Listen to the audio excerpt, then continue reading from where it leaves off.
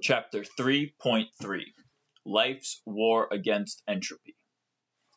Thought itself is a limited lifetime phenomenon in the cosmos.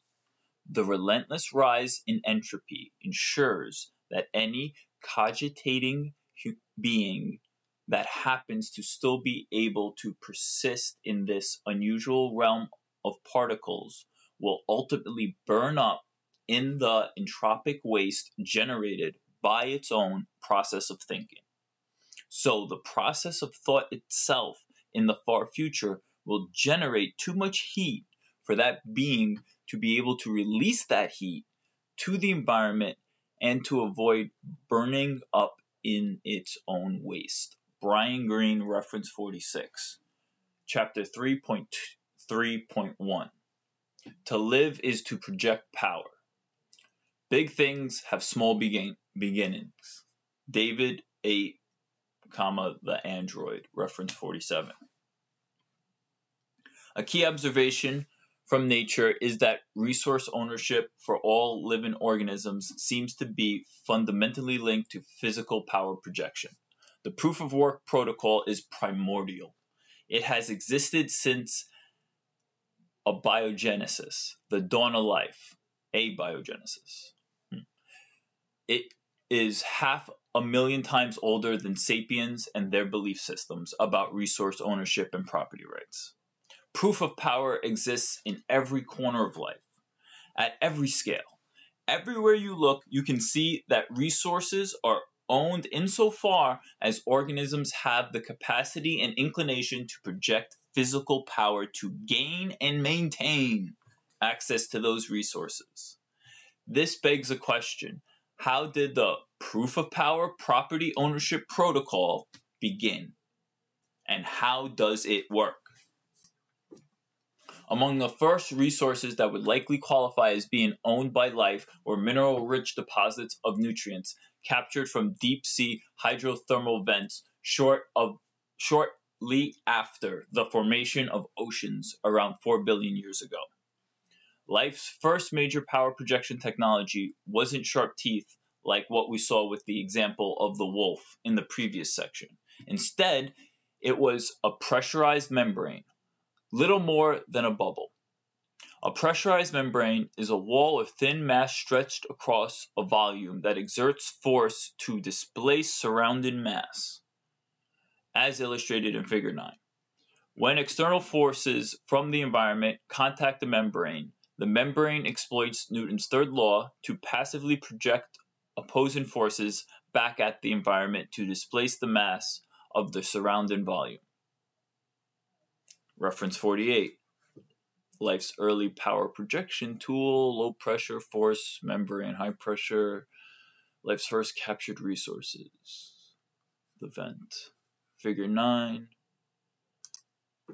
Using pressurized membranes to capture resources and survive in the wild would probably qualify as life's earliest and most successful power projection tactic, technique, and technology to date. Pressurized membranes enable life to exert physical power to capture nutrient-rich volume from their surrounding environment. Despite consisting of nothing more than thin films stretched across microscopic gaps in rocks, these early life forms were nevertheless global superpowers. They stood as iron citadels capable of projecting infinitely more power than the lifeless void which existed before them. Reference 48. The tiny fraction of watts exerted by these microscopic bubbles were anything but insignificant. They were monuments of defiance against what could be described as life's mortal enemy, the cold and unsympathetic entropy of the universe.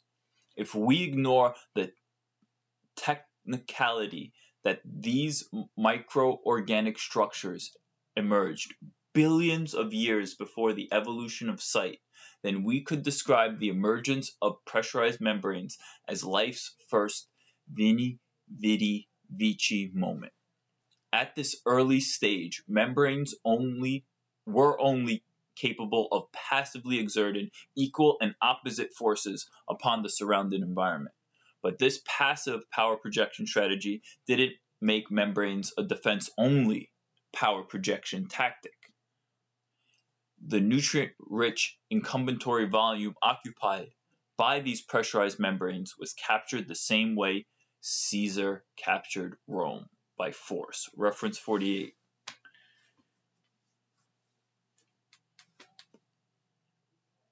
Didn't make membranes a defense only power projection tactic. As discussed in the previous section, physical power is how all living organisms achieve consensus on the legitimate state of ownership and chain of custody of resources. Legitimate is put in quotes to serve as a reminder that legitimate resource ownership is an abstract construct invented by sapiens to assist with the peaceful adjudication of interspecies property disputes. In other words, nature doesn't care about what sapiens think legitimate resource ownership means. In fact, nature does not appear to care about any abstract sapient construct. Nature could care less about people's property rights or rules encoded into property law. Nature only appears to recognize proof of power. Nature only appears to recognize proof of power. The first living organisms didn't have the capacity to think, much less believe, that the nutrient rich volume they captured was legitimately theirs or not. They simply took it by force, the same way all animals, including and especially sapiens, as much as they hate to admit it. Gain and maintain access to their precious resources. Early life forms owned deep sea hydrothermal nutrients for the same reason a wolf owns meat, because they had the capacity and inclination to project physical power to successfully capture and secure their access to it. Since these first little organisms emerged, life's pressurized membrane power projection tactic has evolved and taken many different complex forms over the past 4 billion years, but the function has not changed. From microscopic bubbles to armor to castle walls to militarized national borders, all pressurized membranes work the same way.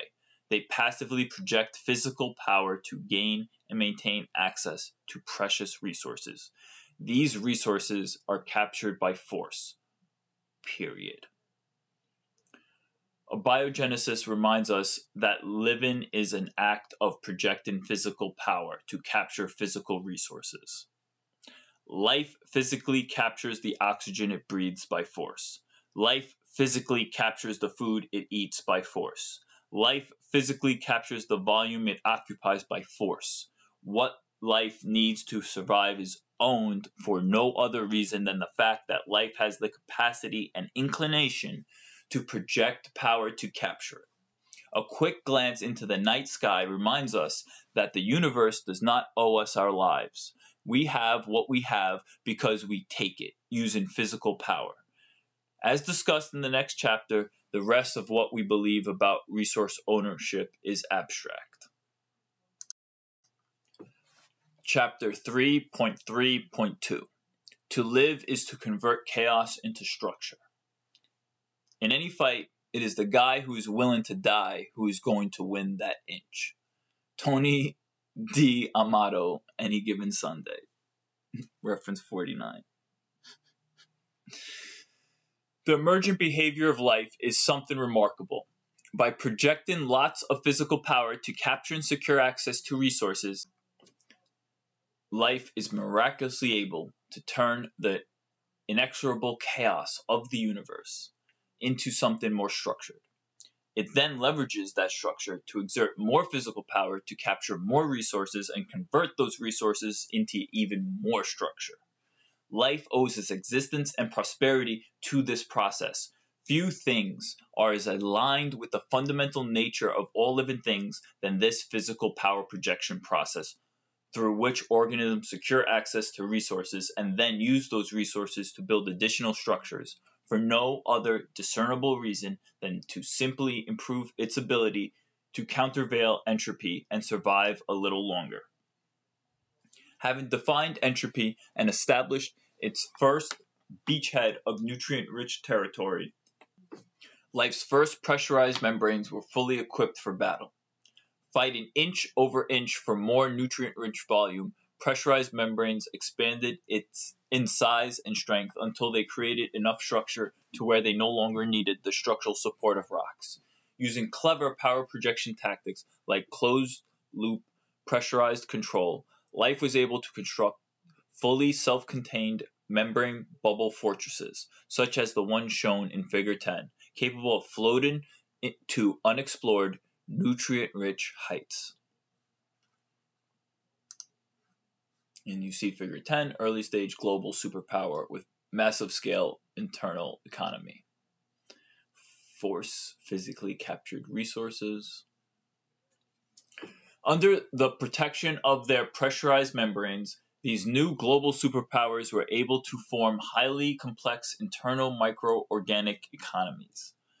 Subcellular molecules self assembled into increasingly more specialized workforces, trade in various microorganic goods and services, and become an even more efficient, productive, and resource abundant.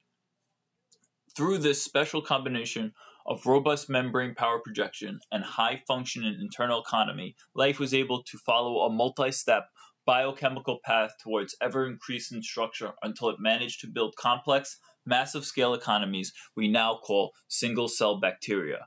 Reference 48.